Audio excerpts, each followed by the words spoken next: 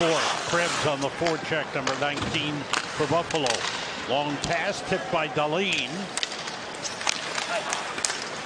And the Rangers have it. Panarin shoots. He scores! Lafreniere forced a turnover. Panarin scores. Rangers lead 3 0. And then Panarin does the rest. Watch them together right there. Pressure, stayed with it, and eventually that shot as Levi came well out of his net. But this is just an excellent play by Lafreniere. Pressure, body contact, and then the turnover leads to that goal by